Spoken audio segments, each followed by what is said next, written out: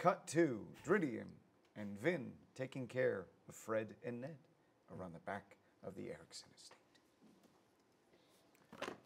Vin is brushing out the coat to Ned. Ned, you're so fussy. Ned, Ned, please calm down. I'm so sorry. I shout laughed, but damn, that was. I'm gonna take the piss out of Ned any chance I get. Sorry. sorry, not sorry. That was David funny. has David has a habit of naming fantasy creatures after real life issues. Of Ned's. Of Not just real life issues, of my real life Oh issues. yeah, because Yeah, they've all fair. been. They've all been mine. yes. You know, me not laugh. everything's about you now. Until he makes it. You're such a fussy horse.